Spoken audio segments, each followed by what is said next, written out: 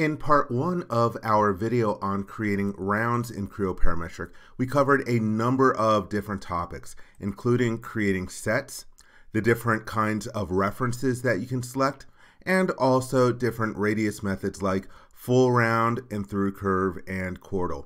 In this video, we're going to cover two different topics. We're going to cover the creation method, rolling ball versus normal to spine, and also the different kinds of profiles that you have the default circular, also conic and D1 by D2 conic, and curvature continuous and D1 by D2 curvature continuous. Before we do that though, let me orient you to my model. I'm going to cancel out of this round feature. This part is a uh, consists of a sketch, which is a straight line, and then I use that straight line in order to create a sweep and the sweep has a circular cross section. So essentially it's creating a tube. And then I mirrored that sweep about a plane so that it intersects itself. And I'm going to use this to demonstrate the two different creation methods. Let's start off by creating a round on this edge. I will select the edge and then from the mini toolbar I can click on the round command and you can see from the tooltip that it is the keyboard shortcut of the letter R.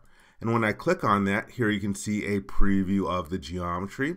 Let me collapse my model tree and then go to the Sets tab. And here we have the default creation method of rolling ball. And the way that this method works is that it Re it uses a spherical ball of the specified radius and tries to keep it, and, and it creates it by moving that spherical ball along the reference, meaning maintaining tangency to the necessary references. And so here you can see how the geometry is created. And in this particular case, you can see how it's starting to neck here in the middle. Let's try changing this. Let's increase this to a value of 12. And it starts to get more pronounced how it's necking in the middle. And let's do one more change. Let's increase this up to 16. And again, it's getting worse and worse as it's going on because it's trying to use that rolling ball method. Now, with that round in the feature, let's select another edge. And as we saw in the first video, when you select another edge, it becomes a different set. I'm going to change this second set down to the initial value of 8. And I'm going to change the creation method from rolling ball to normal to spine.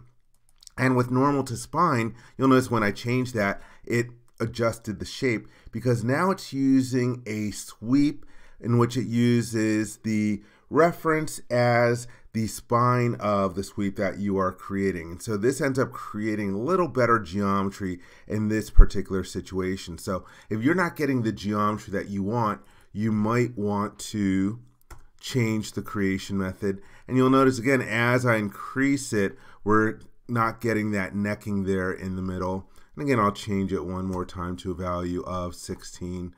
And so in that way, we're getting the round between those different references that isn't having the same necking effect that we have with the default method of rolling ball.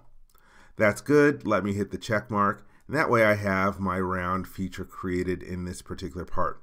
One other thing to show you about this round feature is that we also have the method of using a chordal round or a constant width round. So I'm going to select the round and then edit definition. I'm going to first start off by increasing this down to a value of 4. Actually, let's increase this to 8. There we go. And for the chordal round, if I go to the Sets tab, here we can choose chordal, and now it's going to end up using a constant width round. Let's adjust this back down. Let's try value of, there we go. Now we have the constant width. The value of 8 was just too large and ended up swallowing up too much of the geometry. But here we see that we have that constant width round instead. Let's hit the check mark. And that's good for this part. For the different profiles, let's take a look at creating a new part. And I'm just going to click on the new icon. I'm going to call this round profiles. and click the OK button. I'm going to use my default template. Let me turn on my datum plane visibility real quick. I'm going to start off by creating a sketch on the datum plane front. So I can select the datum plane and then click on the sketch tool from the mini toolbar. In the tooltip, you can see that this is the keyboard shortcut of S. And let me go to my sketch view. I no longer need to see my datum planes. Let's turn off their display. And I'm going to use the palette to grab a shape. Let me go to the Profiles tab and then grab the C shape and just drop it in here. Let me close out of here. I'm going to grab the rotation drag handle and I'm going to decrease the scale a bit. Let's reduce this down to a value of 10. And for moving this into place, I want to change the drag location. Instead of using the geometric center of the sketch, I'm going to right click on here and drag to the middle there. And then now I'm using a left drag to position this exactly where I want it to be. That's good. Let's hit the check mark and the sketch is placed in here. Let me hold down the right mouse button and from the toolbar I can choose the check mark to exit out of sketch mode and I'm just going to now extrude this which is the keyboard shortcut of X that you can see from the mini toolbar and I don't need it quite so big. Let's change this to a value of 20. So that's good. I just wanted to create some geometry and just remind you that you can use the palette in order to create geometry and show you how you could use the different tools within the palette command in order to place the sketch.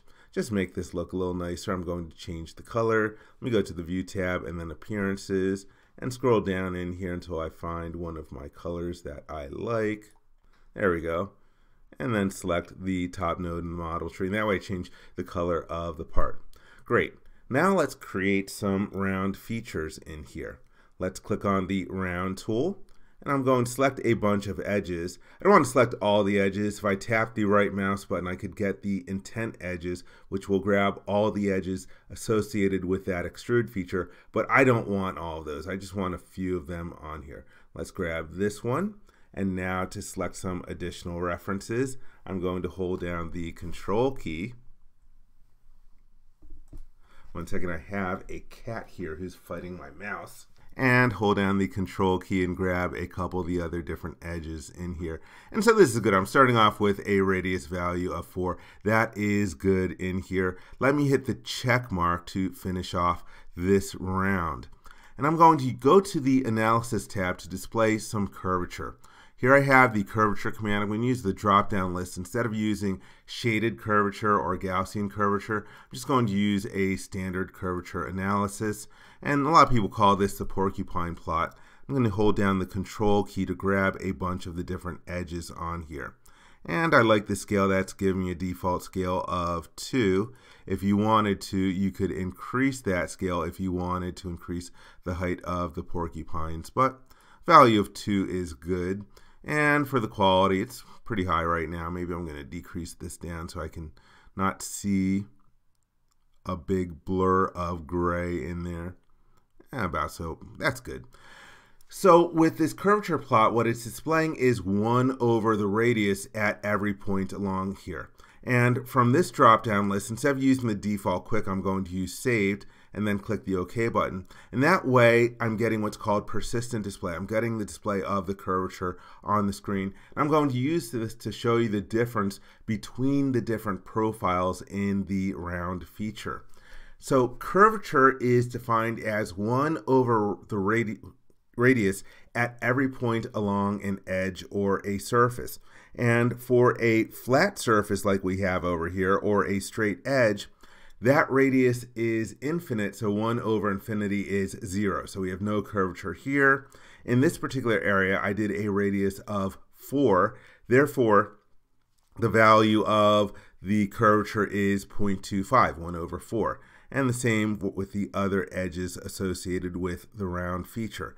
And the reason why you might want to change the profile is that we have such an abrupt change in the curvature of the edges over here. It goes from zero, all of a sudden jumps up to a value, and then maintains constant value and drops back down. And sometimes for different applications, you want to change the shape of the round and also change how it enters and exits from flat into the curved shape. To do that, let's go back. I'm going to use the Model tab. Let's select the round feature and then Edit Definition. And if I go to the Sets tab on here, from the top drop-down list, we have the different profiles available to us. And the default is circular. In other words, it's going to use a round shape in order to create it. But instead of circular, we can change this to conic. And when I change this to conic, I want you to notice that in the graphics area, I'm going to get an additional dimension. So here we have this dimension here of 0.5. You can see the 0.5 value in this drop-down list as well. And you can see that we have previous different values that were entered. And this value is a conic parameter called rho. And rho basically measures a ratio of different lengths when you draw some asymptotes out from the shape of the conic. But the value of rho is what's really important. And when you have a value of 0.5, you're going to get a parabolic shape to the round. I'm going to hit the check mark. And you can notice that the porcupines that we have here for the curvature changed a little bit. So we can see that 1 over the radius is now changing because we're using a parabolic shape for the round instead of that default circular shape.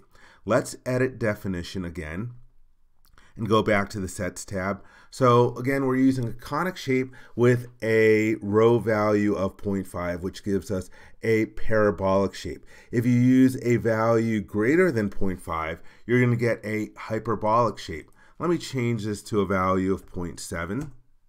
And you might have noticed that it got sort of like a little pointier over here. And unfortunately, the persistent display does not update until I complete the feature. So let's hit the check mark. And so now you can see how those porcupines adjust. So again, we had this really abrupt change in the value of the curvature, but you see that it's not so abrupt by using the conic shape with a higher value. But then in the middle, the curvature really jumps and then it comes back down. All right, let's do that again. Let's edit definition and even try a higher value for that rho value. Let's change this to 0.85. And by the way, mathematically, about the highest value that you can get for rho is about 0.95. And so there you can see again, we're getting really, really sharp changes in curvatures as we get out towards the middle of it.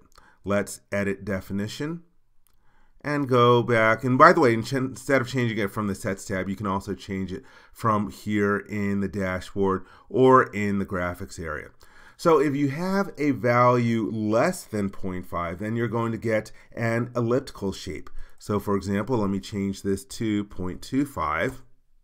And you'll notice that it ends up a little flatter in here. Let me hit the check mark to complete that one. And you can see now with using this low value of rho, we're getting a much more abrupt change in the curvature as the round begins, but it's lower curvature towards the middle of it. So there you can see, you can as you're playing around with that rho parameter, the different changes in the value that you're getting. And there's one other value that I'm going to change this to. If you use a value of the square root of 2 minus 1, which is approximately equal to 0.4142, you're going to get a shape that's called the quadrant of the ellipse. And in this particular one, since I'm using a constant radius value, that would actually give me a circular shape. So again, that value is 0.4142 approximately. If you want the exact value, you can type in sqrt, which is the square root function, and then 2 minus 1 and hit enter. Right now it asks me, do I want to add this as a relation? No, I just wanted to evaluate it and put it in there. Let's hit yes in here. And you can see again out to a bunch of different decimal places, 0.414213, blah, blah, blah. Let's hit the check mark in there. And so now if you take a look at those porcupines, it looks like the value, the shape that I had when I used the default circular shape. All right, that's good. Let's edit definition. So there we saw what happens when you use a value of uh, 0.4142. Oh, it looks like I accidentally added a relation in here. Let me hit the check mark and get out of here, and then go to the model intent drop down, and then go to relations. Nope, there's no relation in here. Uh, let's cancel out of there. Actually, let's change to feature, and then no. Let's change to feature. Yeah, I accidentally put a relation in there, so let's get rid of this relation. That's why the value of rho was grayed out. Let's click the OK button, go back to edit definition over here, and now I can change that rho value, and let's change it back to 0.5 for a parabolic shape. But before I hit the check mark this time, I'm going to go to the Sets tab and change this from a conic shape to a D1 by D2 conic. What this means is instead of being a value 4 along both of the references, you can change it to have different lengths along the side references. So again, D1 by D2, let's select that. You'll notice now I have an additional value in here and I can also use these drag handles if I want it to be higher over here. So maybe I want to change that to a value of 8 over there. And then change this. Let's make this smaller. Let's make this a value of 2. And then hit the check mark. And so that way we are getting a conic shape that goes different distances back along the references that define the edge for the round. Let's edit definition once more. And from the Sets tab, let me change this from D1 by D2. Oh, actually, I chose D1 by D2 curvature continuous instead of D1 by D2 conic. Let's change this one to value of 2 just to show you that one and hit the check mark. Just want to show you how the porcupines adjust. So again, you can see that by using D1 by D2 conic, we have this big jump in the change of curvature at the different references. Let's go back to curvature continuity. I'm going to edit definition and then from the sets tab from the drop down list I'm going to choose C2 continuous and C2 means curvature continuity.